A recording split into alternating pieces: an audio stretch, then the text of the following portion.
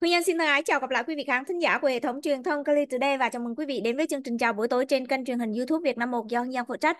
Và chương trình tối hôm nay là chương trình ngày 16 tháng 8 cũng rơi vào ngày thứ sáu cho nên là quý vị được nhìn thấy à, Hương Giang cùng luật sư Nguyễn Hoàng Duyên.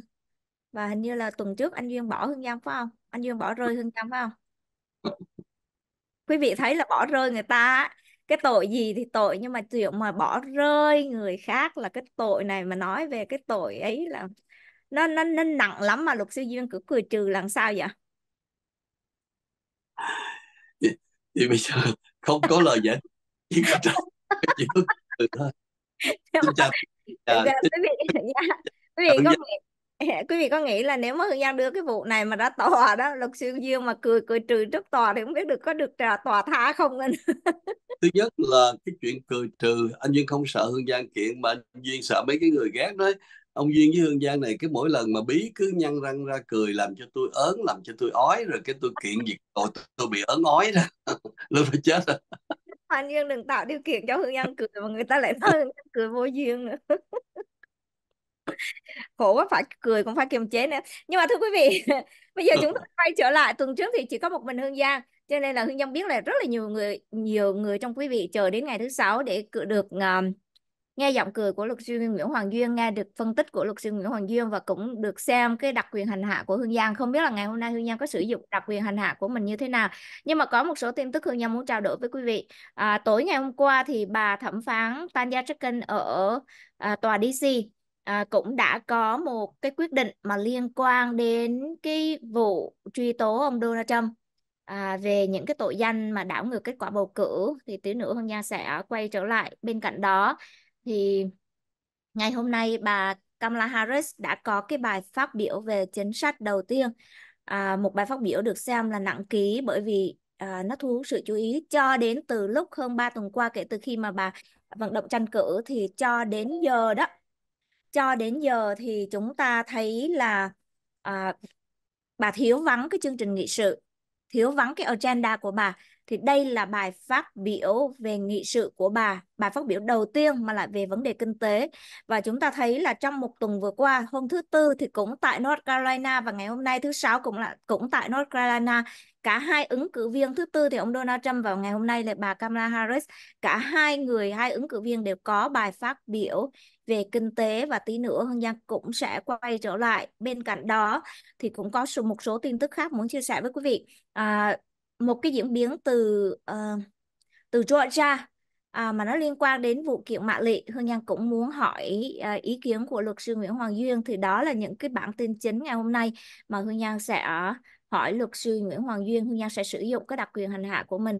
À, ngoài ra trong quá trình mà nói chuyện thì nếu mà Hương Giang nhớ được cái tin gì thì Hương Giang cũng chia sẻ với quý vị. Nhưng mà quý vị biết là ngày hôm nay ông thống đốc của California tức là ông Gavin Newsom ông đã ký một cái gói luật cái gói một cái package này. Trong này có 10 dự luật à, mà nó liên quan đến cái luật cái Prop 47 mà cách đây đúng 10 năm cử tri California đã thông qua. Và bây giờ sở dĩ Hương Nhân đưa bản tin này tại vì quý vị biết là ngày hôm qua trong cái cuộc họp báo của ông Donald Trump diễn ra tại Bedminster ở New Jersey thì à, cựu tổng thống như thường lệ ông đưa ra những cái tuyên bố à, không có đúng tức là những cái thông tin sai sự thật một trong những thông tin sai sự thật.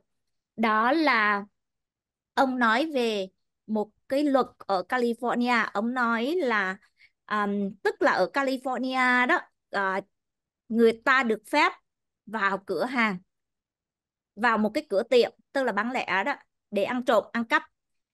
Dưới không có quá 950 đô.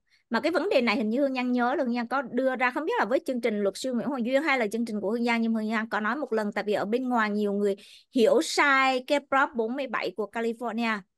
Và ông Donald Trump ông nói là người ta có thể vào cửa hàng để cướp và những cái tên trộm mà vào cửa hàng ở California và những cái tiệm ở California thì đem theo máy tính để mà tính toán là ăn trộm, ăn cắp, ăn cướp làm sao mà đừng có quá 905 950 đô. Bởi vì nếu mà cái số tiền dưới 950 đô thì sẽ không có bị buộc tội. Và bà ấy, tức là Kamala Harris, đã làm điều đó. Trong chương trình của Hương Giang Hương Giang có nói với quý vị là cái tuyên bố này nó sai sai căn bản, sai căn bản, sai cả hai cái trong sai cả hai cái vế mà ông Donald Trump ông đưa ra. À, thứ nhất là cái hành vi trộm cắp của California. Trước đây trước năm 2014 thì cái ngưỡng là 400 đô. Tức là nếu như mà ăn trộm ăn cắp mà dưới 400 đô thì vẫn bị truy tố nhưng mà bị truy tố tội tiểu hình và một số thì có thể là thoát tội. Nhưng mà năm 2014 thì tăng cái ngưỡng lên là 950 đô. Nếu đây là hành vi phạm tội chứ không phải là đây vô cửa hàng ăn cắp vô ừ, cơ sở kinh doanh ăn cắp cướp bóc của người ta mà không có tội. Thưa quý vị tội đây là bất hợp pháp nhưng mà dưới 950 đô là tội tiểu hình. Có một số trường hợp có thể bị tù 6 tháng mà có một số trường hợp tùy theo từng trường hợp có thể là thoát được. À, thứ thứ hai nữa thứ nhất tức là ông Donald Trump ông đưa ra cái ấn tượng là ở California cứ tự do mà vào cửa tiệm ăn trộm ăn cắp 900 năm dưới 950 đô là không có bị truy tố. Thứ hai nữa là ông nói bà Kamala Harris là đưa ra vấn đề này. Cái này không có có. Năm 2014 thì cái cái cái Prop 47 được đưa trên lá phiếu và cử tri California đã bỏ phiếu mà hồi đó đó cái mục tiêu đó à, cái mục tiêu hồi đó là do nhà tù của California thì bị quá tải. Cho nên người ta tăng cái ngưỡng để giảm những cái tội phạm mà bất bạo lực đó những tội phạm mà bất bạo lực thì những tội phạm loại thì họ có thể là không có tống vào tù, mà họ cho những cái chương trình, chẳng hạn như những cái chương trình điều trị cai nghiện hay là những cái chương trình điều trị về sức khỏe tâm thần, vân vân và vân vân. Theo cái số liệu là chương trình này nó có kết quả, tức là nó giảm được cái số lượng tù nhân ở trong các nhà tù. California trong 10 năm qua là 21.000 người, tức là nó save được tiền cho tiểu bang. Thứ hai nữa là cái số mà tội phạm tái tái mắc lại đó tái tái tội. À, tái quay trở lại cái con đường hình sự là chỉ có hơn 15% thôi so với toàn tiểu bang là 40% thì nó có kết quả chứ không phải là không có kết quả. À, ông Gavin Newsom thì vừa tuần tháng trước đó thì ông có đưa ra một cái dự luật mà quý vị biết bây giờ vào tháng 11 quý vị nào ở California thì quý vị sẽ thấy có một cái dự luật cái Prop 36 cái Prop 36 này nó nhằm đảo ngược cái Prop 47 bởi vì Cộng hòa với một số dân chủ và một số cơ quan thực thi công lực thì họ cho rằng cái Prop 47 trong 10 năm qua làm cho tội phạm họ bị lờ. Và chính vì vậy mà chúng ta có 36, 36 sẽ trên cái lá phiếu vào tháng 11. Gavin Newsom cùng với một số nhà lập pháp dân chủ hồi tháng trước tính đưa ra một cái dự luật để mà đối đầu với 36 nhưng mà dự luật này không có đạt được cái sự ủng hộ cho nên họ rút. Cho nên chính vì vậy ngày hôm nay ngay tại thành phố San Jose ở Home Depot, ông Gavin Newsom ông đã ký một cái gói gồm 10 dự luật. Và cái gói này đó quý vị à, quý vị biết là cái gói dự luật này nó sẽ tăng tức là nó sẽ tạo điều kiện cho cơ quan thực thi công lực có thể là bắt giữ tội phạm và ăn trộm tức là tội phạm bán lẻ. Cái mục tiêu của 10 dự luật này là để nhằm đối phó với tình trạng là ăn trộm à, tức là shoplifting đó hoặc là retail theft tức là những cái tội phạm mà à, vào cửa hàng vào cửa tiệm ăn trộm ăn cắp. Mà bây giờ chúng ta thấy tình tình hình nó rất là à, nó càng ngày càng gia tăng. Thì đó là bây giờ hiện tại là như vậy. Cho nên là quý vị nào ở California thì quý vị nhớ coi kỹ cái lá phiếu của mình. À, sắp tới là sẽ có cái dự luật 36 còn bây giờ thì thống đốc đã ký 10 cái dự luật này để đối phó tức là đối phó bằng cái không có phần trên cái lá phiếu của uh, cử tri nữa. Nhưng mà cũng lại một lần nữa nhân tiện này Hương Giang muốn giải thích cho quý vị mà quý vị nào ở ngay ở California hay là bên ngoài California thì quý vị hiểu được là không có phải là ở California là cứ ngang nhiên vào cửa hàng người ta ăn cắp ăn trộm dưới 950 đô là cứ tự động bước ra và bước ra thoải mái không có bị Ờ, đó là điều hợp pháp hoàn toàn không hợp pháp có thể bị bắt và có thể bị truy tố và có thể lên đến 6, 6 tháng tù. Đó là cái thông tin mà Hương Giang muốn chia sẻ với quý vị. Bây giờ Hương Giang nói nhiều quá rồi bây giờ Hương Giang phải trao lại cho anh Duyên thôi. Và khi thông tin mà Hương Giang nói đó là anh em chúng tôi có nói một vài lần ở trên cái chương trình này. Và nhưng cũng không biết là Hương Giang có chia sẻ trên mấy cái diễn đàn nào khác hay không nhưng mà tóm tắt lại là đi vào một cái siêu thị ở California lấy một món hàng 50 đô la thôi đó mà người ta bắt được thì vẫn bị đưa ra tòa. Dạ dĩ nhiên khi mà đi ra tòa mà cái tội nhẹ như vậy đó thì có nhiều cái cách giải quyết. Một là nếu mà đã có cái tiền án trên quá khứ rồi đó thì nó nặng một chút xíu. Còn đây là lần đầu tiên mà lấy một cái món hàng 50 đồng 100 đồng thì phải đi làm ờ, công ích để mà rồi được đi vào một cái chương trình nó gọi là diversion. Để sau đó thì cái vụ đó được xóa. Nếu mà chúng ta đã phục vụ công ích đầy đủ rồi thì tôi chỉ nói cái tổng quát như vậy. Và đa số những người mà những những tân chủ mà làm việc với tôi trong những hồ sơ đó thì hiểu được cái vấn đề rồi. Cho nên uh, không có cần không muốn mất thời giờ để mà đi sâu vào nữa. Bởi vì anh em chúng tôi nói vấn đề này nhiều lần rồi. Mà khi người ta muốn tin Donald Trump mà không tin luật thì cũng chịu thua thôi. Là tại vì nếu mà tin theo Donald Trump đó điều đó có nghĩa là tin Putin chứ còn không có tin tình báo của Mỹ. Trở lại à, ông Donald Trump thì mình còn nhiều điều để nói lắm chẳng hạn như là ngày tại vì anh Dương nhắc đến ông Donald Trump không có vấn đề gì pháp lý nhưng mà ngày hôm nay đó ông Donald Trump ông à, ở cũng tại Bedminster tức là tại New Jersey. À, thì ông à, có tiếp đón bà Mariam Mariam Mariam Alderson Ờ, Anderson, bà là vợ của ông Sheldon đúng không anh? Ông ông ông Sheldon Hương Giang không có nhớ họ nhưng mà Hương Giang nhớ là tên ổng là trùm về bài bạc đúng không? Đúng rồi. Ờ, dạ. Venetian, cái cái cái cái sòng bài Venetian với lại sòng bài Sands ở Las Vegas. Dạ đúng rồi, ông thì ông thì ông qua đời rồi nhưng mà bà kết hôn với ông là hình như là hơn 30 năm rồi cho nên lúc của ông qua đời là 30 năm. Bây giờ quay trở lại à, những ngày vừa rồi thì à, ông Donald Trump ông viết cái à, ông ông cho nhân viên của ông gửi tin nhắn cho bà chỉ trích bà như thế này như thế kia cho nên là chiến dịch của ông Donald Trump tìm mọi cách clean up. À, sợ là bà bực mình thì bà không có đóng góp tại vì đây là một nhà đóng góp rất là lớn. Thì trong cái buổi ngày hôm nay đó thì tại uh, New Jersey hình như ông có tiếp đón bà. Và ông nhắc lại là năm 2018 ông có tặng trao tặng cho bà cái huy chương mà huy chương uh, dân sự Hương Nhân không biết là dùng cái từ gì nhưng mà à, ngày hôm nay ông nói á, là ông ông nhắc lại cái chuyện ông trao cho bà cái huy chương đó và ông nói là à, cái huy chương của bà trao cho bà cái huy chương nhân sự đó thì nó cũng tương đương với cái huy chương của bên quốc hội tức là cái huy chương danh dự mà trao cho những uh, uh, trao cho uh, lính á, những người mà đóng góp cho quân đội quân nhân đúng không anh?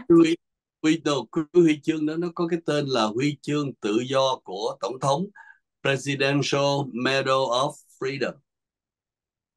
À, mà Hương Nhan lại nhớ là của quốc hội. Thì ông mới nói là hai cái huy chương này nó tương đương với nhau. Nhưng mà huy chương ông lại nghĩ là huy chương dân sự á.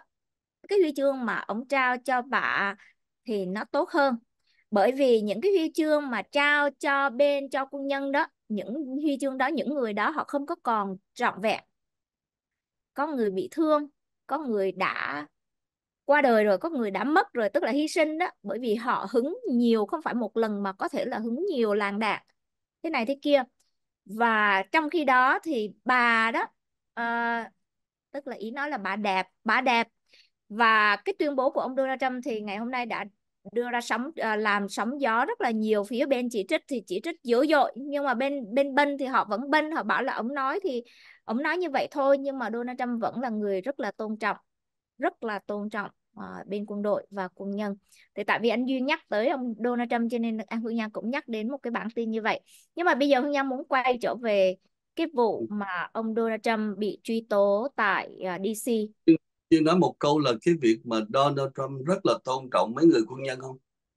Cho nó cho... bên bên bên bên bên bên họ nói như vậy. Thì đó thì anh anh đang đứng về những những bên binh à chẳng hạn là ông Donald Trump khi ông đứng trước cái mồ của con trai của ông John Kelly mà ông John Kelly là tránh văn phòng. Con trai của ông John Kelly tử trận và chôn ở nghĩa trang Arlington. Lúc đó thì với cái lòng thương dành cho con của ông John Kelly đó thì ông tổng thống Donald Trump với cái nhân từ mà mới hỏi, tại sao con ông ngu vậy? Đi lính làm gì? Có gì trong đó cho nó đâu. Phải không? Đúng là cái thằng này nó là, nó sức cơ, nó là một cái thằng stupid. Chứ còn là nếu mà nó là con tôi đó là bây giờ tôi sẽ làm cho nó đau chân để nó nó đi nó gọi là đau chân đi cả nhắc đó, đặng nó trốn lính rồi. Ông có thấy không? Tôi ông thấy có ngon lành không? Có nghĩa là Donald Trump nói cái câu đó đó là cái tình thương dành cho cái người nằm nằm chết đó cho nên đó là một cái người một người vô cùng nhân từ. Rồi cái hồi qua bên Paris chẳng hạn người ta bảo là đi lại cái uh, nghĩa trang đi. Thì Donald Trump nói rằng là đi lại nghĩa trang là gì? Ở đó toàn là mấy bại hoại loser không à. Cái câu đó một câu nó rất là hay. Là cái lời đó là một cái lời của một người gọi là tổng tư lệnh quân đội mà. Muốn khích lệ cái tinh thần chiến đấu và chiến thắng của của quân đội Mỹ cho nên mấy thằng mà nó bị chết mà nó nằm xuống hy sinh á mấy thằng đó không có đáng thăm. Bây giờ mình chỉ thăm là mình chỉ thăm những thằng mặc cái bộ đồ đẹp đó. không? Quy chương đầy không? Đó mấy thằng đó mới là mới mới là đáng thăm. Cho nên khi mà Donald Trump trao cái huy chương cái huy chương mà dành cho cái bà Miriam ờ, uh, Anderson đó thì Donald Trump nói là rất là rõ. Mà bây giờ anh thấy từ cái lòng thương của một con người mà. Nói là bà đó bà bà bà bà nhận được cái huy chương này mà bà còn nguyên dạng bà còn healthy bà là một beautiful woman. Chứ còn tôi không có muốn bà mà bà nhận cái huy chương này mà giống như những người khác là phải lãnh đạn dài dài phát đạn rồi què quặt rồi này nọ kia. Nó không có tốt trời ơi. Thành ra mỗi một lần mà Donald Trump nói một những cái câu như vậy đó anh nghe thấy một cái lòng thương của một cái con người. Ôi một cái lãnh tụ tối đa tối, tối cao mà. Cho nên cứ mỗi một cuối tuần đó thỉnh thoảng đó anh thấy có một nhóm người vì tôn thờ cái sự tối cao đó mới ra cái tượng Trần Hưng Đạo đó xì sụp lại rồi cúng rồi cầu an cho tổng thống đó. Những người đó còn xứng đáng cho mình nể hơn nữa là dám kiên cường đi ra để mà tỏ cái lòng bài, bày tỏ cái lòng kính trọng cho cái lãnh tụ tối đa của mình mà. Đây là cái một người lãnh tụ mà đã từng, gọi là thương lính thương dân lắm. Mà thương lính với thương dân cũng ngang hàng với thương Kim Jong Un vậy nó hay lắm. Quay trở lại. Dương, Dương vừa mới đưa ra thông tin là có một nhóm người cuối tuần ra à, ra cái chỗ tượng đài Trần Hưng Đạo để cầu nguyện cho tổng thống thiệt á hả? Cựu tổng thống thiệt á tức là có những người đi ra cái khu những cái khu vực công cộng mà cũng có những lần đi tới cái tổ mà tượng tượng Trần Đạo đó rồi cô không biết là thắp nhang gì mà họ nói rõ ràng. Họ là họ là cái nhóm họ đi ra đó để họ cầu an cho Donald Trump. Thì ra anh Duyên thấy hồi những những người đó toàn là làm những việc cao cả. À, Giang làm truyền thông mà Hương Giang không có biết tin này á. Cho nên là xin lỗi quý vị.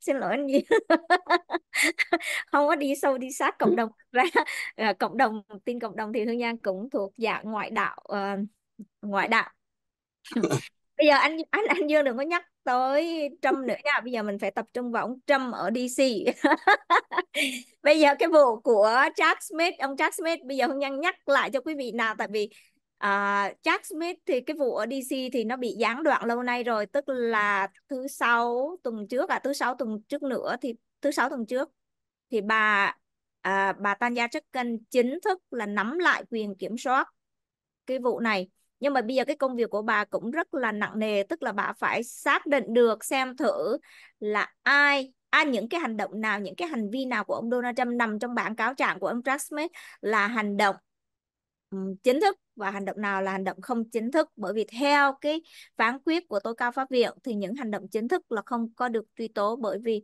không có bị truy tố bởi vì tổng thống được miễn tố hoàn toàn những cái hành động chính thức. Bây giờ vào tối ngày hôm qua thì bà Tanya Chicken đã à, ra một cái án lệnh là cho phép ông Donald Trump sử dụng một số tài liệu mật để à, một sử dụng một số số tài liệu mật trong những cái thủ tục mà trong những cái phiên điều trần cũng cũng như là trong những cái thủ tục tiền thẩm cũng như là trong phiên tòa. Thì đây là cái thỉnh nguyện mà phía ông Donald Trump yêu cầu và phía bên à, à, bên ông Jack Smith họ cũng yêu cầu họ để thỉnh nguyện phản hồi thì họ cho biết yêu cầu bà Tanya Chutkan là bác bỏ toàn bộ những cái yêu cầu của phía bên ông Donald Trump. Nhưng mà quý vị biết bà Tanya Chutkan bà đã đứng về phía ông Donald Trump một số tức là bà bà đồng bà chấp thuận cho một số mà thôi. Nhưng mà bà cũng là bác bỏ một cái số tức là bà khi mà bà chấp thuận bên ông Donald Trump có nghĩa là bà bác bỏ một số ở bên cái thỉnh nguyện của uh, chính phủ tức là của um, Manhattan đó. Thì cái này đó là theo cái một cái theo cái section 5 ở trong cái đạo luật SIPA thì theo Hương Nhan nhớ là như vậy Hương Nhan không có nhớ chính xác nhưng mà Hương Nhan, Hương Nhan nhớ là như vậy. Nhưng mà bây giờ Hương Nhan hỏi anh Duyên là tại vì những cái tài liệu mật này thì nó siêu tức là nó không có được công bố. Chỉ biết cái án lệnh của bà bà sẽ cho phép phía ông Donald Trump sử dụng một số tài liệu mật. Và à, vì tài liệu mật cho nên chúng ta không có biết. Nhưng mà điều này có ý nghĩa như thế nào trong những cái thủ tục sắp tới? Đây có phải là một cái chiến thắng nho nhỏ cho ông Donald Trump trong cái uh, vụ này không anh, anh Duyên? Thực sự gọi là một chiến thắng thì anh Duyên chỉ phân tích về luật thôi rồi mời gia đình đang lắng nghe anh em mình á, coi coi có phải là chiến thắng hay không. Chuyện gì xảy ra? Cái vụ xử Donald Trump liên quan tới cái ngày 6 tháng Giêng đó, đưa lên tới tối cao pháp viện. Và tối cao pháp viện nói là Donald Trump sẽ được immunity cho những cái hành động official là hành động chính thức. Còn nếu hành động nào mà unofficial đó thì thì coi như là ờ, không có được miễn tố, đúng không? Hương Giang? Dạ đúng rồi đúng vậy, ok.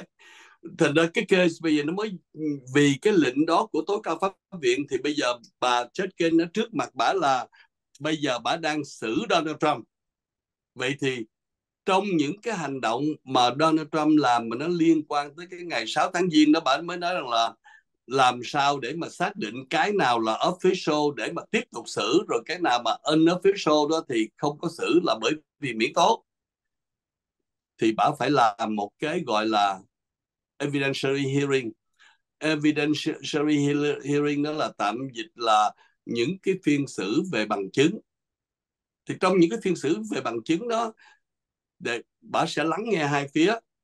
Thì bên phía bên Donald Trump nói là bây giờ, nếu mà giả sử không có cái, không có cái vụ mà evidentiary hearing này đó, không có nghe về bằng chứng đó, thì cái thủ tục tố tụng là đợi tới ngày xử thì mới là đưa bằng chứng ra. Nhưng mà bây giờ thì đã có một cái cái thủ tục tiền thẩm là coi cái nào là chính thức cái nào là không chính thức thì chúng tôi muốn coi những cái văn kiện mà đã truy tố Donald Trump thì chúng tôi mới mới ờ, có thể mà ừ, nghĩa là tranh biện được cái nào là chính thức chứ.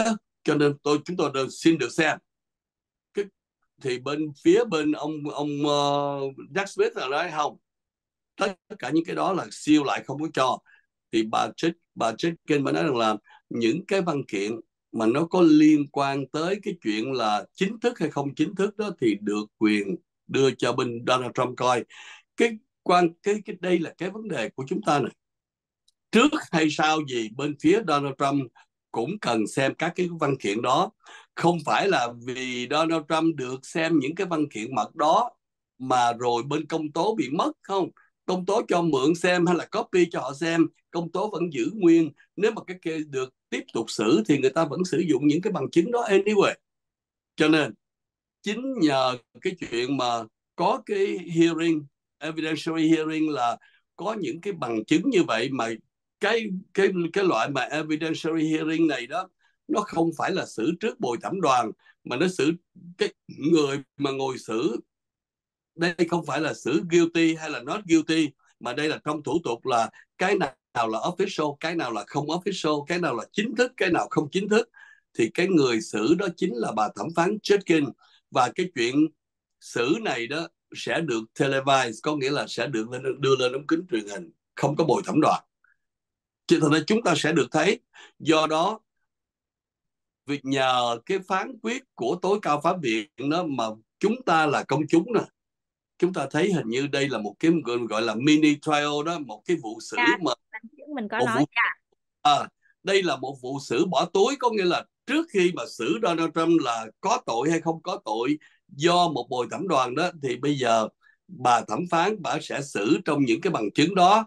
Và cái nhờ cái vụ xử bỏ túi đó đó mà những người thường như chúng ta, trong đó có Hương Giang, có anh Duyên, ngồi quan sát và chúng ta mới biết những cái bằng chứng đó.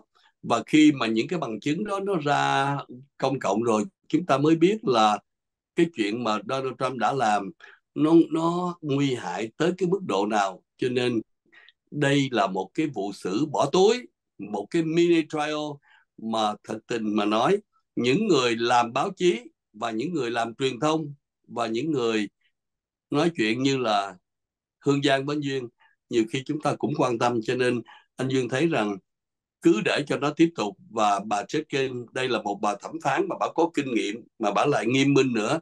Cái chuyện mà bà nói rằng là được, mấy ông sẽ được quyền xem một vài cái văn kiện, một vài cái tài liệu, chẳng hạn. Nó chẳng hạn thôi.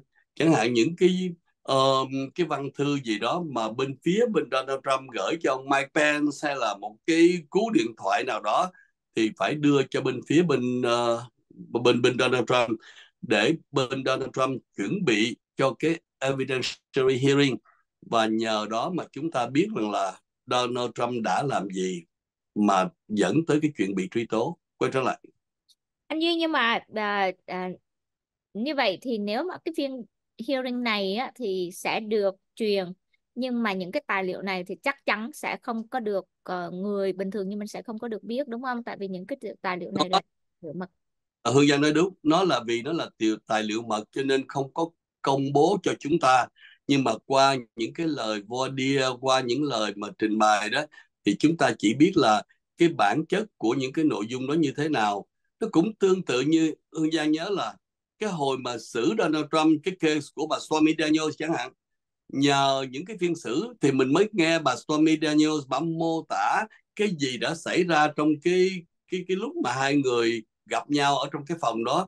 Thì đó là những cái những cái cái um, thí dụ cho chúng ta thấy rằng là qua một phân xử qua một cuộc phân xử qua một cái người một cái nhân chứng đó thì người ngoài như chúng ta nhìn thấy nó nhiều cái nét rõ ràng hơn mà nhờ cái nhiều cái nét rõ ràng hơn thì chúng ta mới thấy là liệu cái phiên mà truy tố Donald Trump và xử Donald Trump này nè nó có công minh không? Hay đây nó là witch hunt quay trở lại. Cảm ơn anh Duyên và thưa quý vị có lẽ là Hương Nhan phải quay qua Georgia trước khi mà Hương Nhan trở về với cái chiến dịch uh, uh, vận động tranh cử của cả hai bên. Nhưng mà anh Duyên có biết là bây giờ bà Kamala Harris bà đang bà đang có sức vươn lên tức là trong 7 tiểu bang trọng yếu những cái thăm dò mới nhất cho thấy là bà đã vượt lên ông Donald Trump rồi.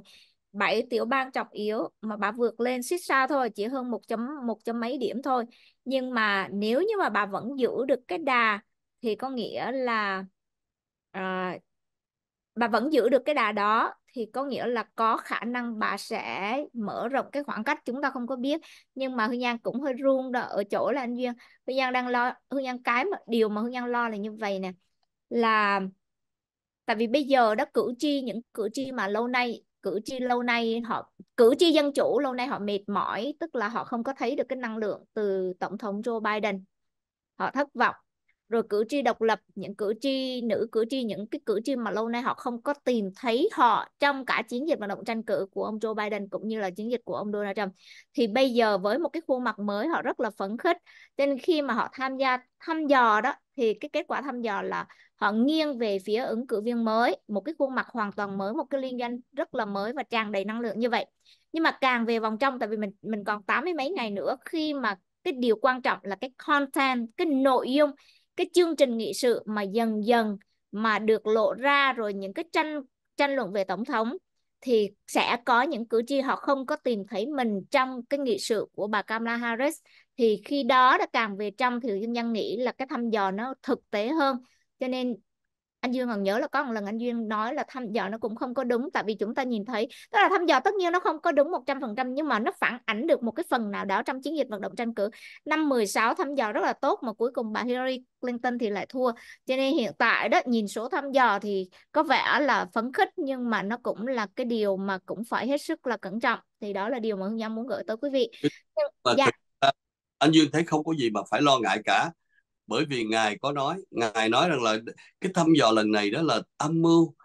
Cái tờ New York Times và, những cái tờ CNN và những báo chí đó cách đây vài vài tuần đó thì nó nói là Donald Trump dẫn. Cái tin đó nó thiệt. Còn bây giờ đó tự nhiên cái là có một cái cú có một cái cuộc ờ, gọi là um, gì đó uh, đảo trắng cho nên Biden bước ra. Cho nên ngài nói rằng là tụi nó âm mưu đảo chánh rồi tụi nó cũng âm mưu với nhau. Thành ra đừng có tin cái thăm dò. Cho nên anh sẽ nghe nghe theo cái lời ngài đó. Nói những cái thăm dò đó cũng toàn là âm mưu với lại lừa đảo không à. Cho nên ngay bây giờ thưa quý khán thính giả Donald Trump đang dẫn nghĩa là trên toàn tiểu bang đó, đó trên toàn đất nước đó hình như là định, tiểu bang nào Donald Trump cũng dẫn khoảng 10 điểm đó cho nên Donald Trump chắc thắng rồi. Vậy thì những người nào mà cảm thấy là không muốn Donald Trump thắng vào tháng 11 đó làm ơn đi bầu làm ơn chuẩn bị đi bầu. Còn những người nào mà biết là Donald Trump chắc thắng rồi đó cứ nằm nhà đi.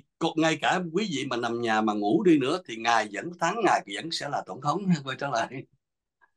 Như à cái bé, cái bé thứ hai là như có thể bị chiến dịch vận động tranh cử của họ bị kiện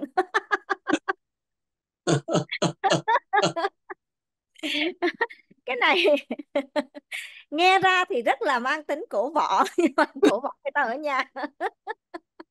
Anh bây giờ tự nhiên đâm ra đó không biết ông ăn cái gì trúng mà rồi cái anh mở miệng ra toàn là khen ngài không quý vị thấy là nội mà cái chuyện mà luật sư Nguyễn Hoàng Diêm mà gọi ông Donald Trump là ngài là hương nhân cũng thấy sợ rồi đó thấy không phải sợ mà thấy là có điều bất ổn. Không biết là tuần trước bỏ hương nhân đi rồi đi đâu không biết lang thang đi đâu bây giờ về là có điều bất ổn rồi. Dạ bây giờ hương nhân quay hương nhân quay trở hương nhân quay trở về với trọ ra. Sở dĩ hương nhân chia sẻ với à, quý vị trọ ra là tại vì ở bên đó nó đang có một cái vụ kiện à, mạ lị mà thực ra cái vụ kiện mạ lị này nó diễn ra lâu nay rồi. Nó liên quan đến ông Brad Raffensperger là chánh thư ký của tiểu bang Georgia. Cái tiểu bang Georgia là cái tiểu bang mà thực sự tiểu bang cộng hòa. Ý hương nhân nói là lãnh đạo nguyên một dàn lãnh đạo cộng hòa. Nhưng mà là tiểu bang mà hương nhân nghĩ là à, nó làm cho hương nhân hương nhân nghĩ là amazing amazing. Ở cái chỗ là thống đốc cộng hòa chánh thư ký thọc cộng hòa, phó thống đốc cộng hòa. Nguyên cả một dàn cộng hòa. Nhưng mà khi những cái vấn đề, những cái cáo buộc về gian lận bầu cử ở họ, những cái cáo buộc sai trái, những cái thuyết âm mưu sai trái, họ là cộng hòa. Nhưng mà họ sẵn sàng đứng lên, chống lại tất cả những cái vấn đề đó và chống lại cả ông Donald Trump về cái vấn đề đó chứ Hương Giang không có nói là họ chống lại ông Donald Trump về nghị sự. Họ chống lại ông Donald Trump về những cái thuyết âm mưu gian lận bầu cử, về những cái tuyên bố sai trái về bầu cử. Họ chống tới cùng. Mới đây thì quý vị thấy là cựu phó thống đốc của Georgia cũng là người Cộng hòa ông Duncan.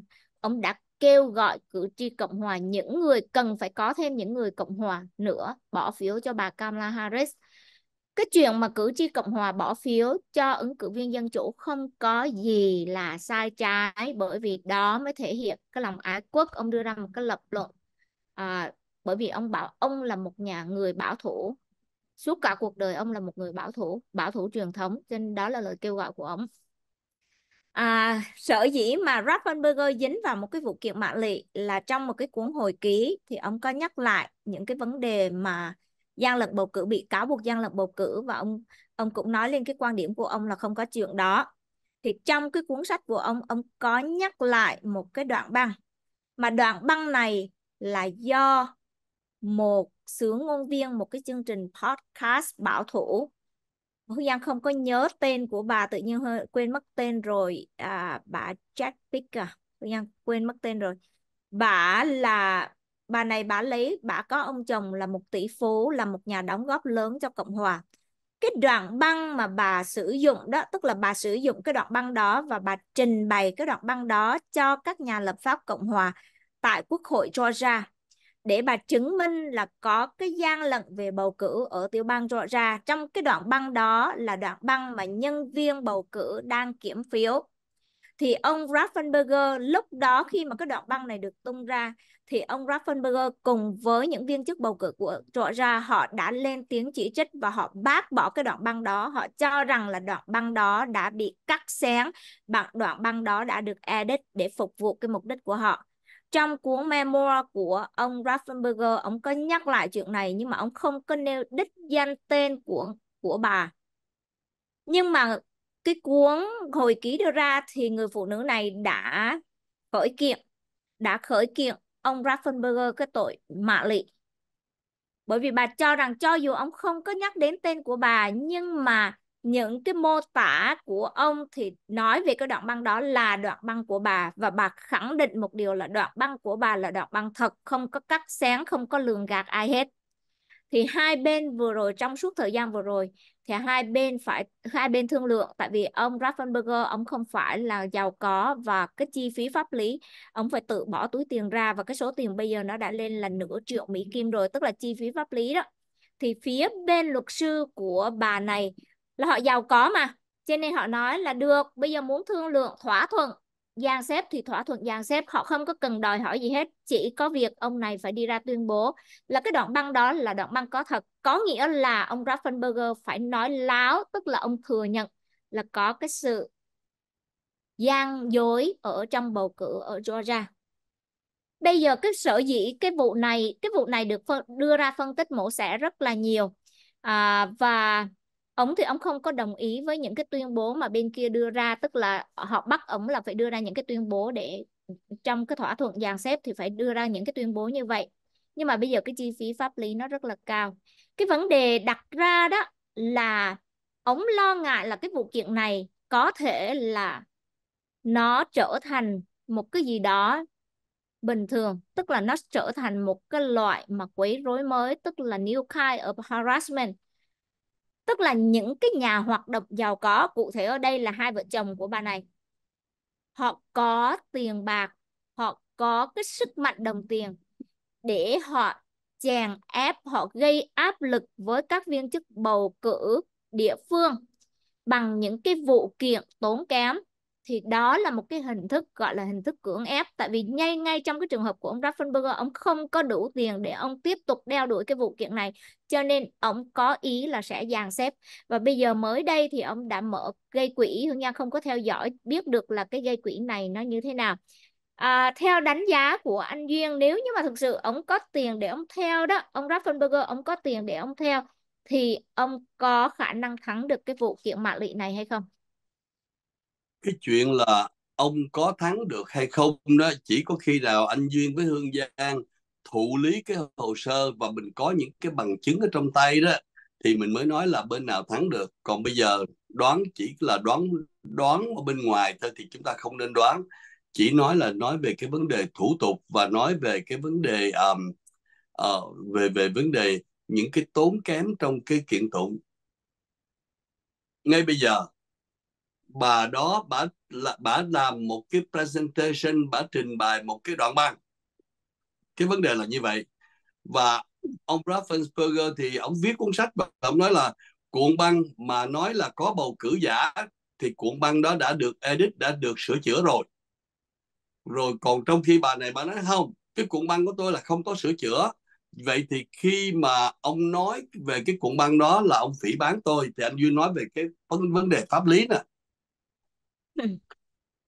vấn đề pháp lý là ông Raffensperger ông đang nói về cái bản chất của cái cuộn băng. Ông không hề nói cái bà này là cái người sửa đổi cái nội dung đó.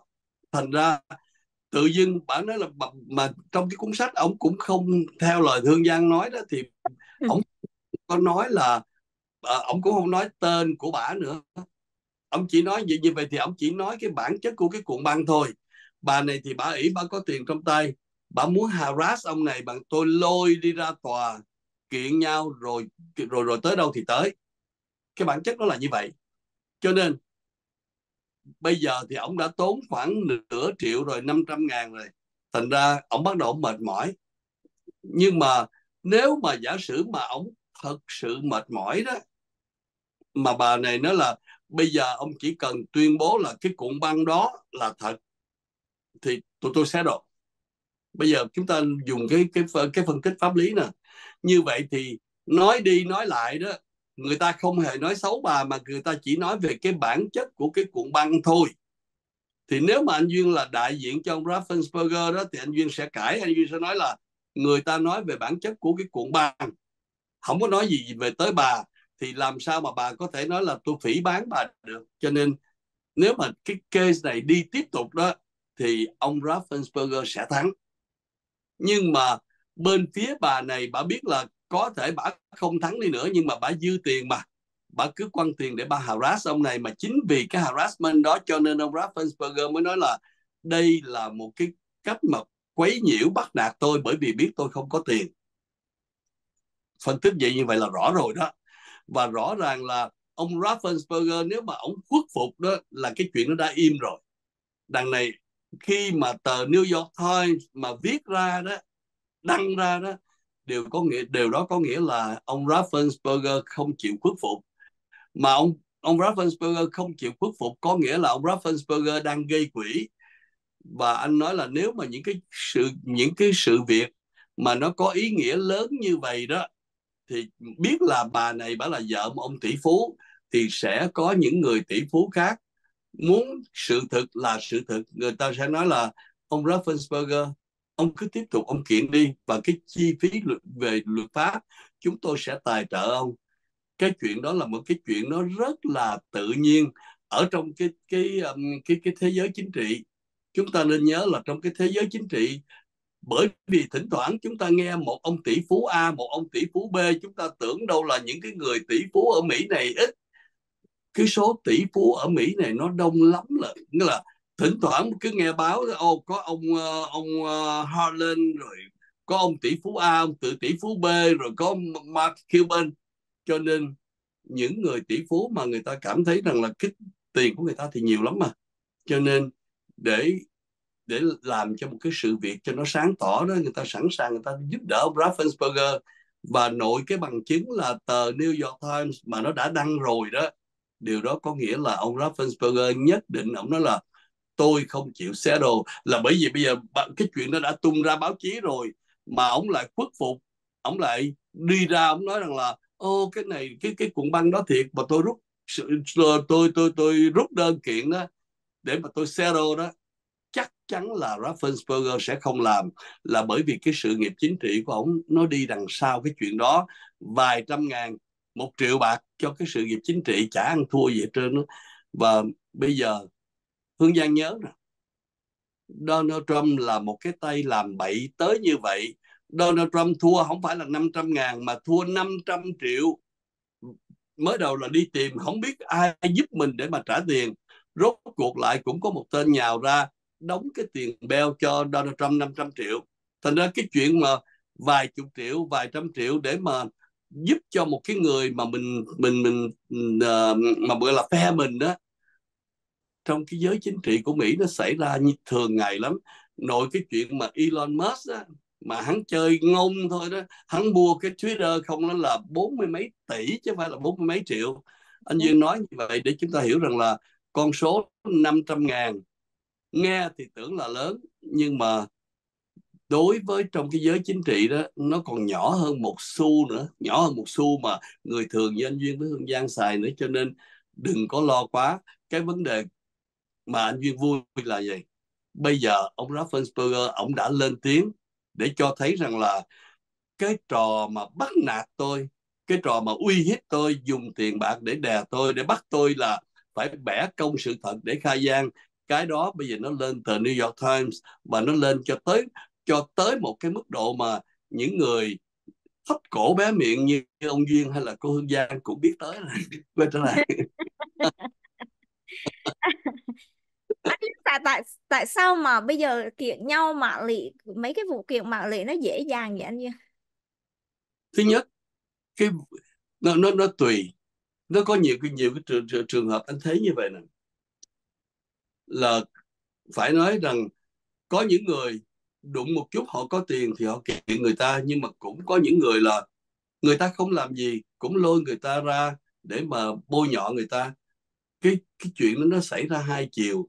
Trong cộng đồng Việt Nam mình cũng vậy đó bây giờ mà uh, anh Duyên mà nói một cái câu nào mà không có vừa lòng đó cái ông này hình như là ông, ông cộng sản. Sợ gì sợ gì mà Duyên né. Cái chuyện mà cộng sản là tại vì chắc hình như người ta cũng ớn anh Duyên người ta né thôi chứ còn hãy mà có dịp mà anh Duyên mà nói một câu nào mà anh chỉ cần flip cái môi mà nói ngược một chút xíu là hình như ông Duyên này nói cái chuyện cái sặc mùi cộng sản. Không bây giờ Hương Nga thấy là anh Duyên hồi, hồi xưa thì nói là cộng sản. cho như nói rằng những cái người mà hay đổ thừa người ta là cộng sản đó đây mới nó có một cái vui chẳng hạn Donald Trump công khai, Donald Trump nói là Tập Cận Bình là sư tổ giỏi lắm. Kim Jong Un là người tình của tôi. Vậy mà có những người đó là đã từng là Sài Gòn giả biệt hết mà giả biệt Sài Gòn mà đi lòn qua Bình Nhưỡng, vậy bây giờ là thờ ông Donald Trump. Rồi mà khi mà người ta nói đó, thì cái ông giả biệt Sài Gòn ông nói, tôi là chuyên nghiệp mà tại sao lại trách tôi? Nếu mà ông nói ông chuyên nghiệp đó thì cái ngày cái giây phút mà ông viết cái bài Sài Gòn giả biệt đó ông cũng chả có tình cảm mẹ gì với Sài Gòn đó, đó. ông viết ông cũng chỉ là anh chàng được chuyên nghiệp vậy thôi à thành ra anh duyên nghe bây giờ mỗi một lần mà anh duyên nghe những cái người cuồng Trump họ nói đó anh duyên càng lúc anh duyên tởm tởm là bởi vì ngay khi họ biện hộ đó họ show rõ cái con người của họ tôi bây giờ mà tôi binh Donald Trump tôi đi ra tôi vận động để mà gây quỹ cho Donald Trump đó cũng là chuyên nghiệp mà thôi. Như vậy thì thưa ông cái lúc mà ông ôm cái đàn guitar mà ông viết là Sài Gòn ơi tôi đã mất người trong cuộc đời đó ông cũng chỉ là một anh được chuyên nghiệp thôi chứ anh cũng chả có thương mẹ gì Sài Gòn hết á. Quay trở lại với Hương Giang. Không biết là nín thở Hương Giang... mà mỗi một anh nói cái sự thật như vậy là anh thấy là nên là Hương Giang không có thở. Dạ tại vì Hương Giang không biết là mình bấm lộn lúc nào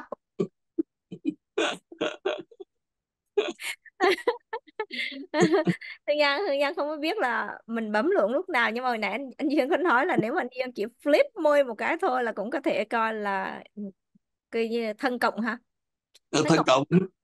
thân cộng là hồi xưa thôi Hương Giang hiểu hồi xưa còn bây giờ người ta hình như là còn mạnh hơn nữa là ví dụ như người, ta có thể dùng những cái chữ như là tay sai chẳng hạn như vậy yeah. dạ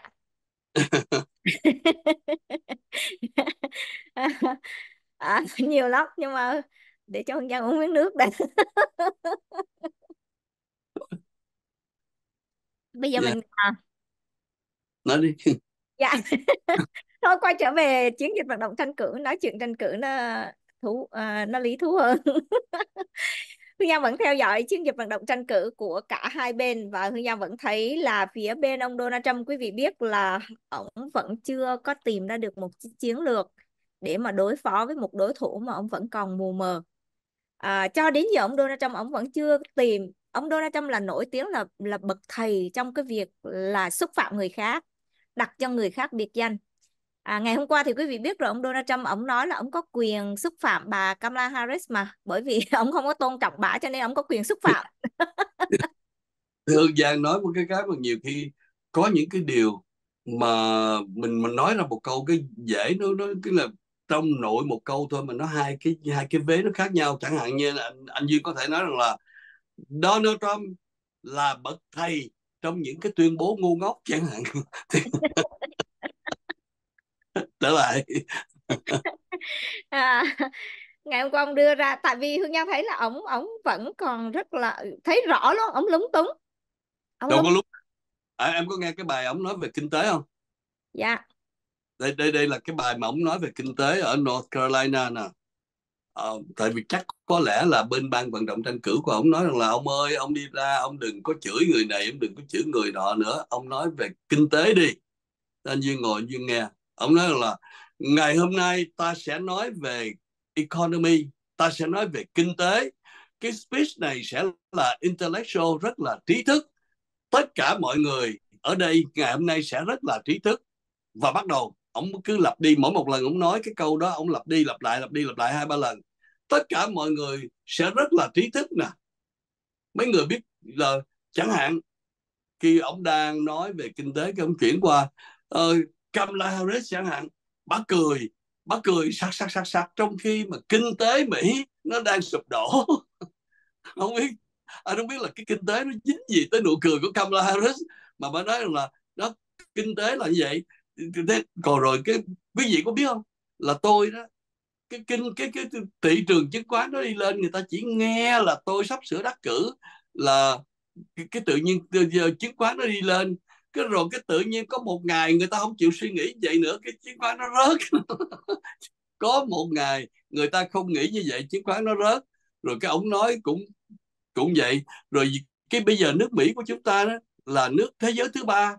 Quý vị, gì vị biết không? Đây là nước thế giới thứ ba. Quý vị biết không? Nó là cộng hòa chuối. Và quý vị biết không? Rồi cái đám kia đám mà kia gì đó di dân nó vô. Ông đi ông nói đi nói lại cái chữ rếp mà ông lặp đi lặp lại tụi nó rape và murder. Tụi nó rape và phạm tội. Tụi nó rape và tụi nó ờ, làm đủ thứ chuyện hết. Vậy gì đó ông kết luận cái bài nói chuyện kinh tế của ông thành viên anh duy nghe từ đầu tới cuối anh nói là, ông này ngộ ha. Ông nói mà ông cứ lặp đi lặp lại theo cái kiểu mà mình làm thơ mà, nửa đêm giờ tí canh ba mà vợ tôi, con gái đàn bà nữ nhi đó, nói dài mà chủ, chỉ có vậy thôi. Nửa đêm với lại vợ tôi thôi, chỉ có vậy thôi à rồi rốt cuộc lại đó khi mà ông kết luận lại anh Dương mới nói rằng là ông nói hình như tôi nghe ông nói là kinh tế phải không? Không nghe tới đâu đó mà công nhận kinh thiệt. Không đúng là như vậy. Nhưng mà anh anh Dương phải thấy là đừng có give up hope. Có sự tiến bộ. À, từ cái cái họp báo thứ năm tuần trước cho đến với Elon Musk cho đến cuộc họp báo ngày hôm qua thì có sự tiến bộ có sự tiến bộ. Uh, anh serious nào? Anh duyên không có give up cái hope. Anh duyên nghĩ là từ đây cho tới tháng 11 Donald Trump sẽ còn ngu hơn nữa sẽ còn đần hơn nữa sẽ còn hoảng loạn hơn nữa và nước Mỹ sẽ tẩy được cái thằng stupid này ra khỏi cái chính trị. Cho nên anh duyên không give up hope không? Anh trở lại ngài ngài ngài không phải thằng. Ngài sẽ sẽ đẩy sẽ đẩy được cái ngài stupid này ra khỏi chính trị để cho nước Mỹ chúng ta quay trở lại bình thường. Quay trở lại. Ông ngày hôm qua ông nói là là là à, ông có quyền xúc phạm bà Kamala Harris bởi vì bà xúc phạm bà cũng xúc phạm ông mà. Bà gọi ông à, bà gọi tôi là kỳ cục mà. Bà gọi tôi queer. Bà gọi tôi với JD queer mà quý vị có biết là JD đó là được đi học với Yale đó đứng đầu lớp đó mà bà dám gọi là queer à, bà dám gọi là kỳ cục. À, cho nên là hương nhân nghĩ hương nhân thấy rõ ràng là họ lúng túng ở cái chỗ là ông Donald Trump vẫn vận động mà cái ngày hôm qua ông có nói là ông đánh giá cao cái cái lời khuyên của bà Nikki Haley là cần phải tập trung vào những cái vấn đề mà cử tri muốn nghe cần phải không bỏ hết những cái chuyện là tấn công cá nhân, xúc phạm cá nhân như vậy. Nhưng mà ông nói là ông vận động theo cái cách của ông. Mà chúng ta thấy là ông vận động theo cái cách của ông đúng là năm 2015-16 là ông đã đắc cử. Lý do là tại vì khi đó, ông là một người mới và người ta nhìn, cử tri muốn nhìn thấy một người không có ở trong cái guồng máy chính trị, một người fresh. Nhưng mà cái cách vận động tranh cử của ông Donald Trump trong 10 năm qua vẫn the same way à, Hương Giang nói the same way là Hương Giang không có thêm vào những cái chữ đẹp. Tức là nói như anh Duy hồi nãy đó tức là ông vẫn dùng những cái chữ đó những cái câu đó và chúng ta có thể nhắm mắt lại thì chúng ta biết được là ông sẽ nói những cái câu gì. Chúng ta nhắm mắt lại cũng biết là ông sẽ chỉ có một cái con đường duy nhất đó là ông xúc phạm đối thủ của mình đặc biệt hiểu cho đối thủ của mình. Nhưng mà tập trung vào cạnh tranh. Mà cái lập luận của ông Donald Trump ông hay lắm anh Duyên tức là ngày hôm qua cái cuộc họp báo Hương Nha thấy là ông nói như vậy nè à, và chúng ta có thể nghe được trong cái bài phát biểu về kinh tế ông bảo là rất là đơn giản. Trong 4 năm nhiệm kỳ của ông đó ông nói thẳng là trong 4 năm nhiệm kỳ của tôi kinh tế kinh tế tốt đẹp ông làm cho người Mỹ giàu hơn. Thì bây giờ đó không có cần phải nói gì nhiều. Ông đã chứng minh rồi ông đã chứng minh được là ông đã làm kinh tế được cho nên bây giờ trong bố nếu ông đắc cử thì ông cũng sẽ làm lại những cái điều đó. Tức là ông đưa ra đối với ông, Donald Trump thì cái lập luận của ông rất là đơn giản. Cho nên chúng ta thấy là cái bài phát biểu về kinh tế, cái bài phát biểu đầy trí tuệ thì ông đa phần ông dùng ông để chỉ trích đối thủ, chứ ông nói về kinh tế rất là ít. Nhưng mà ngày hôm nay thì bà Kamala Harris, bà như Hương Nhân nói, cái bài phát biểu nặng ký tại vì lần đầu tiên bà phát biểu về cái nghị sự kinh tế của bà mặc dù bà không có, cả ông Donald Trump cũng vậy mà bà Harris cũng vậy, không có đưa ra được một cái kế hoạch chính sách toàn diện. Nhưng mà chúng ta có thể thấy được trong cái bài phát biểu vào ngày hôm nay là cái hướng đi của Harris và Tim Walz như thế nào. Tức là bà sẽ ban hành, bà kêu gọi một cái lệnh là cấm chặt chém. Tức là trong những cái tình huống mà cái nhu cầu tăng đó, ví dụ chẳng hạn như là covid vừa rồi thì quý vị thấy là mặt hàng, những cái hàng tiêu dùng nó khan hiếm thì các công ty họ lấy cái cớ đó để họ tăng giá thì bà sẽ cấm về vấn đề này.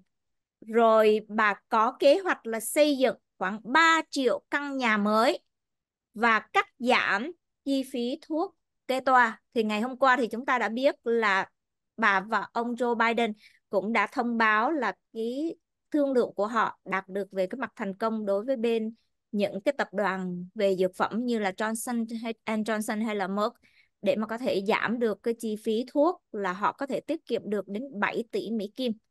À, thì và cái vấn đề kinh tế ngày hôm nay mà trong cái bài phát biểu của bà Kamala Harris thì Hương Giang ấn tượng nhất đó là bà sẽ dành 40 tỷ Mỹ Kim để cho các công ty xây cất họ xây dựng những cái căn nhà mới. Và bà có cái sự hỗ trợ dành cho những người mua nhà lần đầu tiên tức là mua nhà lần đầu tiên có thể được chính phủ hỗ trợ cho đến up to tức là 25 ngàn để mà tiền đau đó. Và những cái người những bố mẹ mà có con mới sanh đó mới sanh con thì cũng sẽ được chính phủ hỗ trợ. Và bà cũng tuyên bố là bà sẽ tiếp tục tức là bà à, à, gia hạn bà gia hạn cái tín dụng tín dụng thuế trẻ em mà bây giờ tổng thống Joe Biden chỉ có làm được trong thời gian ngắn hạn trong cái cái cái cái đạo uh, đạo luật giải quyết khủng hoảng vừa rồi mà thôi. Thì chúng ta có thể thấy được là chưa có rõ nét hoàn toàn. Nhưng mà chúng ta có thể thấy được là cái bước đi của bà Kamala Harris nhưng mà có cái câu hỏi đặt ra là bà sẽ lấy đâu tiền? Tức là bà sẽ lấy đâu tiền để bù đắp những cái khoản chi tiêu như vậy? Thì đó là một cái câu hỏi à, đặt ra. Nhưng mà theo các đánh giá hơn đọc dương gian đọc phân tích thì cái cái chiến lược kinh tế của ông Donald Trump thì nó sẽ tăng cái à, thâm thủng ngân sách của liên bang tăng hình như tăng con con số lớn. Còn của bà Kamala Harris cũng tăng nhưng mà cái con số nó nhỏ hơn. Nhưng mà chúng ta có thể thấy cái điểm tương đồng là cả hai người này đều sử dụng cái power tức là cái thẩm quyền của chính phủ liên bang để can thiệp vào cái nền kinh tế chỉ có sự khác biệt là can thiệp khi nào và can thiệp bằng cách nào mà thôi. Cho nên cái câu hỏi đặt ra bây giờ người ta bảo à, phía ông Donald Trump thì cho rằng bà là cấp tiến bà là liberal là cấp tiến nhưng mà cái chiến lược kinh tế của hai người này đều cho thấy theo cách nhìn của Hương Giang là cho thấy họ đều là populist tức là dân túy. Hương Giang tạm dùng cái chữ chữ như vậy. Thì bây giờ ừ, về kinh tế thì ai là dân ai, ai là dân túy đây? Thì đó là những cái những cái nét chính mà Hương Giang muốn chia sẻ với quý vị từ trong hai cái bài phát biểu kinh tế của ông Donald Trump và của bà Kamala Harris. Nhưng mà trước mắt thì vào tuần sau thì chúng ta sẽ thấy được là nặng ký hơn khi mà bà Kamala Harris sẽ có cái bài phát biểu chấp nhận đề cử tại Đại hội Đảng Dân Chủ diễn ra vào tuần sau từ thứ hai cho đến thứ tư bà phát biểu vào tối ngày thứ tư. Thì khi đó chúng ta sẽ rõ nét hơn. Nhưng mà anh Duyên thấy là à, trong những ngày vừa qua đó phía bên Cộng hòa jay Vance cũng JD Vance cũng như ông Donald Trump và đồng minh, họ tấn công ông Tim Walz về cái hồ sơ quân nhân của ông Tim Walz rất là nặng. Họ tấn công nặng nề lắm. Nhưng mà cho đến giờ Tim Walz được đánh giá là ông đã ép, tức là người ta nói đó, ứng cử viên phó tổng thống chỉ có là phần phụ họa thêm thôi, nhưng mà thực ra ông đã ép ấp rất là nhiều cho chiến dịch tranh cử của bà Harris. Không biết là anh Duyên cho đến giờ, anh Duyên nhìn thấy ông ông Tim Walsh như thế nào? Mà đặc biệt này anh, cả hai ông Tim Walsh và JD Vance đều đánh bóng mình là tầng lớp, tức là đều là tầng lớp lao động, tức là cái background là như vậy. Nhưng mà bây giờ ông Tim Walsh sáu mươi mấy tuổi rồi, tài sản không có có, nhà không có có, không có stock. Ông không hề có stock, không có nhà, hai vợ chồng vẫn đi mướn nhà. Ông có một số, có hương nhân thấy là hình như ông có mua bảo hiểm, ông có hai cái chương trình bảo hiểm hình như là vậy. Còn phía JD Vance là cái tài sản. Bây giờ hai vợ chồng ông này là trên hình như là 11 triệu à. Cái con số rất là lớn. Thì bây giờ, cho đến bây giờ thì anh Duyên cảm nhận như thế nào? Anh Duyên thấy như thế nào về ứng liên danh của bà Harris? Nói về Tim Walz nè. Ông làm hai hai nhiệm kỳ làm governor rồi trước khi làm governor ông đã làm dân biểu rồi. Và một thời gian dài làm chính trị mà nếu người này không liêm chính á, thì người này không có bình thường giống như anh duyên với hương giang. Mà thật sự là chúng ta, tất cả những cái người mà trung cấp thành ra đối với những cái người như là ông Tim Walz là ông là thầy giáo ông là coach football ông là governor, thống đốc mà sống bình dị không có thành ra đối với cái, những cái con người như vậy đó là thật sự nếu mà đã làm một thống đốc đó mà nhìn tới đâu chỉ ngửi mùi tiền thôi cũng tương tự như là ngài khi ngài làm tổng thống đó muốn nói chuyện với ngài là phải đưa tiền cho tôi trước rồi thì tôi sẽ tôi sẽ có cái chính sách mà tôi đãi ngộ mà, mà, mà quý vị mà cho nên ngài giàu lắm. Thì có nhiều người nói là ô ổng nghèo như vậy coi chừng ổng sẽ tham nhũng. No một cái người mà gọi là tham nhũng đó, thì giống như tây mà nói là hãy bạn cấp cái trứng thì sẽ ăn cắp được con bò đó. Cái người mà không ăn cắp cái trứng, người đó sẽ không có khuynh hướng ăn cắp con bò. Anh duyên nói cho đơn giản như vậy thôi. Và cái cách mà ông ông Tim Walz, ông nói đó, mỗi lần mà ông nói là ông đi thẳng vào lòng người dân.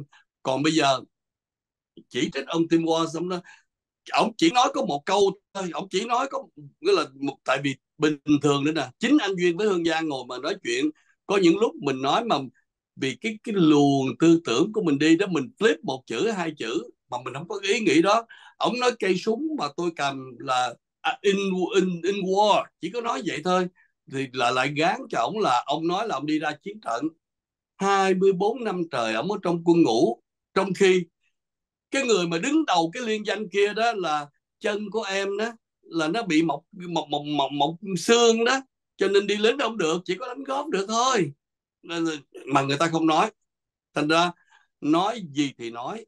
Bây giờ mà bên phía bên Donald Trump mà có có chỉ trích ông này cái điều gì đi nữa thăm dò vẫn cho thấy là ông này ép đi vào trong cái liên danh nghĩa là tăng thêm cái sức ủng hộ. Nhất là cái khu vực mà thôn giả khi người ta nhìn thấy một cái hình ảnh của Tim Walls người ta thấy gần lắm.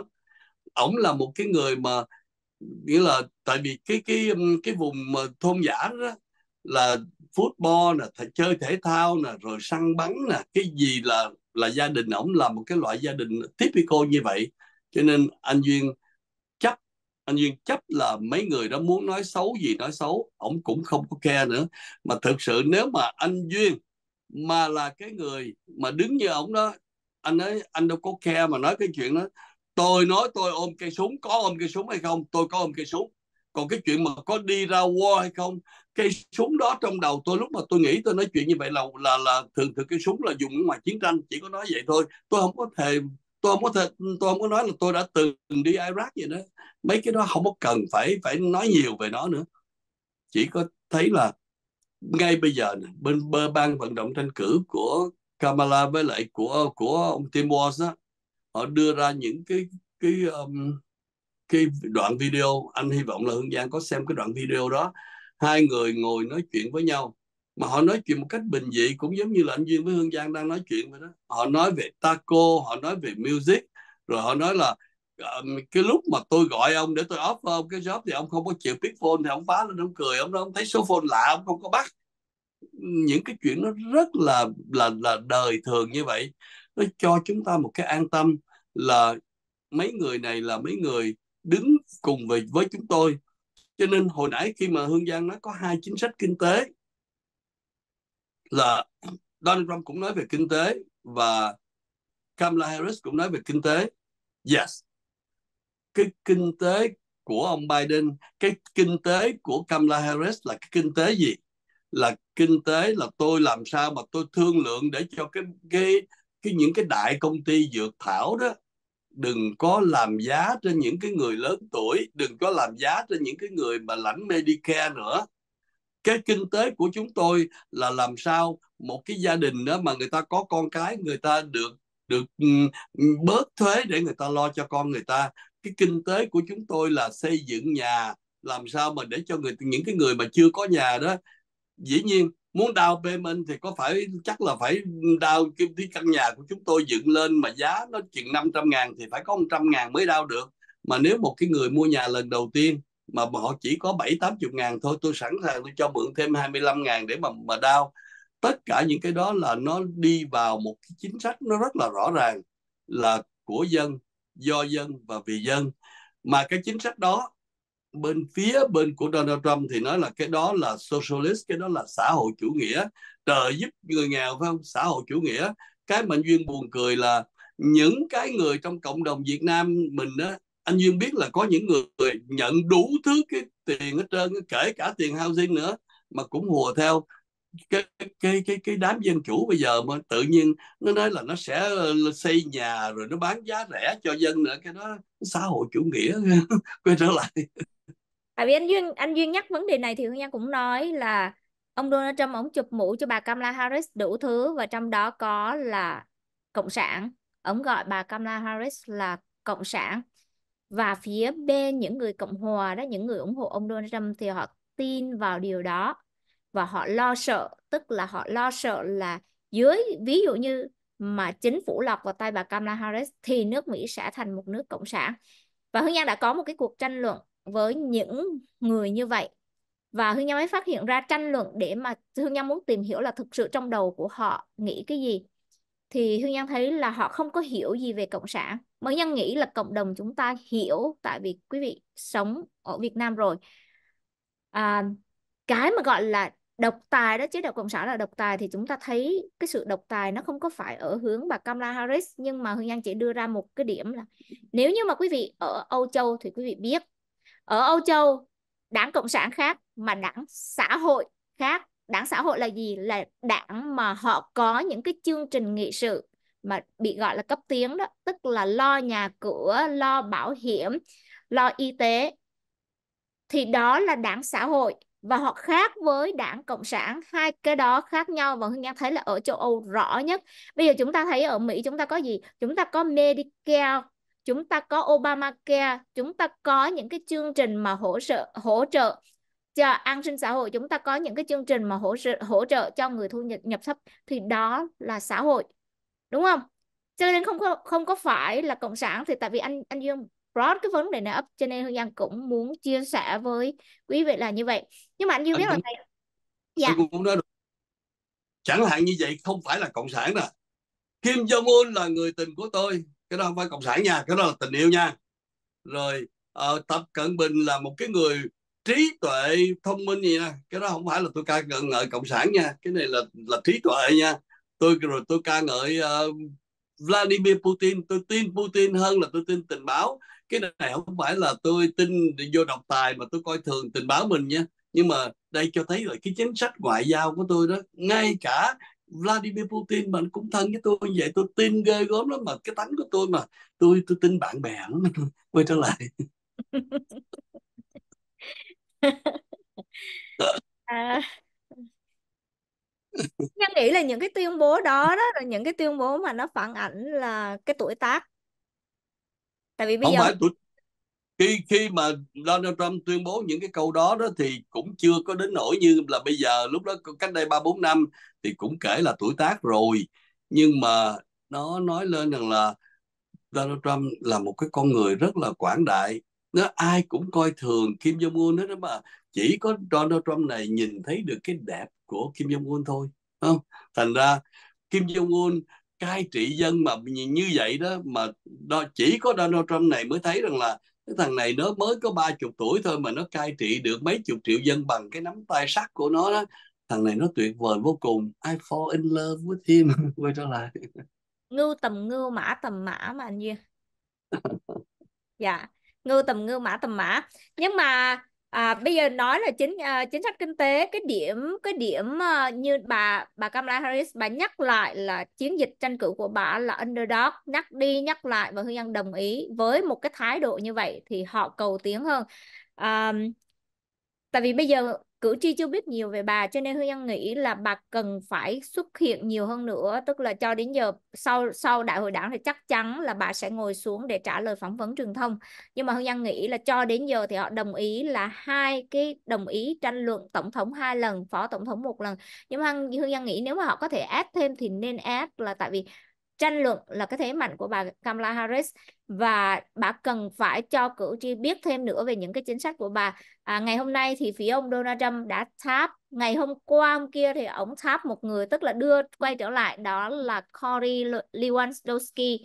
Um, à, làm à, trong chiến dịch vận động tranh cử còn ngày hôm nay thì ông Tháp tức là ông đưa bà bà Tusi hả anh anh bà mà thượng nghị sĩ của dân chủ ở Hawaii đó. Uh, uh, Gab Gabi à, uh, Gabi Tusi gì đó Hương Giang quên mất tên của bà rồi Bây giờ ông Donald Trump đã mời bà ký hợp đồng mời bà về để chuẩn bị cho ông tranh luận tổng thống, tức bà sẽ làm cố vấn về tranh luận tổng thống.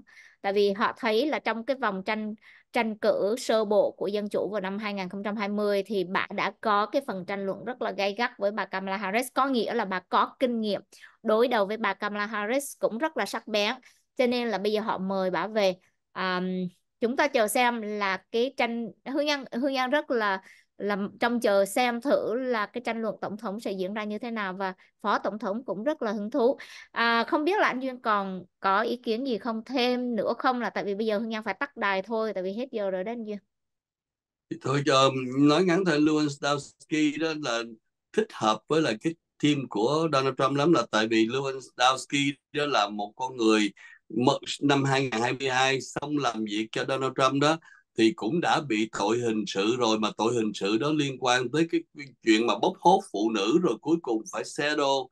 Rồi Lewandowski là cái người mà nói là let Trump be Trump. Rồi, rồi. cái bà Gabbard tosi Gabbard. Thì cái bà đó là cái bà mà cãi chày cãi cối nói chuyện trên trời dưới đất. Thành ra nào nếu mà bà mướn bà này thì cũng có một cái hay là bà sẽ nhào vô bà để bà khuyên Donald Trump cái điều đó thì cũng được là tại vì thật sự có mướn ai đi nữa đó thì Donald Trump cũng không nghe anyway. Cỡ cỡ Kissinger mà Kissinger gặp uh, gặp uh, Donald Trump rồi đó Kissinger cũng phải lắc đầu nói mà tôi tôi gặp nhiều lãnh tụ trên thế giới lắm rồi nhưng mà tôi gặp Donald Trump này thì nói chơi cho vui vậy thôi chứ mình lúc tôi nói ông đâu có nghe đâu. Thành ra ông bình dân mà anh duyên thì ông bình dân cho nên là ông ờ, ông bình đừng dân. có gọi ngài ngài bình dân lắm. Ngài bữa nay. Anh anh dùng thôi hương nhân từ đầu tới cuối là hương nhân vẫn dùng ông cho nên anh duyên anh duyên đổi hương nhân không có đổi. Mà hương nhân bây giờ anh anh duyên mà quay trở lại thằng là hương nhân phải nhắc anh duyên. Tại vì hương nhân thích đang rất là công bằng. Anh duyên sẽ gọi là thằng ngài. Cái thằng ngài này cũng hay lắm Lý Wandowski là anh biết là sau khi rời chiến dịch của ông Donald Trump là về làm cố vấn cho bà Christine Noem. Xong rồi và... ngoại tình với bà Christine Noem. Uh-huh. Hai người hai người có quan hệ tình ái rồi mới bắt đầu đi qua cái vụ ở Ne- Nevada thì mới bị kiện về cái tội sàm sỡ thì cũng đã thỏa thuận nhận tội thì Lewandowski ngày hôm qua mới trình làng hãy để Trump là Trump ông cũng vẫn dùng cái khẩu hiệu đó phải để à. và kêu gọi quý vị là hãy get out of your couch để mà hỗ trợ chúng tôi. Và get out of the couch đó được mổ xẻ rất là nhiều. Ngày hôm qua Hương Giang nói trên chương trình của Hương Giang rồi. Hương Giang không có tiện nói ở đây nữa. Quý vị tự tìm hiểu. Chữ couch này nó rất là nhạy cảm trong chiến dịch vận động, đặc biệt là đối với JD Vance yeah. tại vì cái này nó không có phải là tin tức, mà cái này nó chỉ là những cái lời ờ, gọi là mổ xẻ nhạo báng ở trên mạng mà thôi, chứ không phải là tin tức. Cho nên là thôi, quý vị nhưng mà hương nhân nhìn nụ cười của anh duyên rất là và mà chúng tôi mà có nói cái gì mà có hơi mà quá đáng đó thì này cũng vì chuyên nghiệp thôi nhà nghề thôi.